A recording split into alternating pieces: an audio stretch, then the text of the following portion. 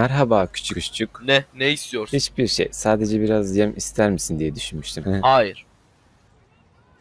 Hayır.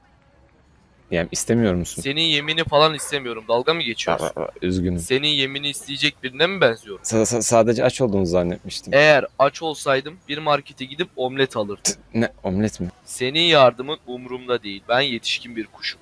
Peki. Cik cik Kuş bey. kes. Bana omlet almaya gideceğini söylediğini biliyorum.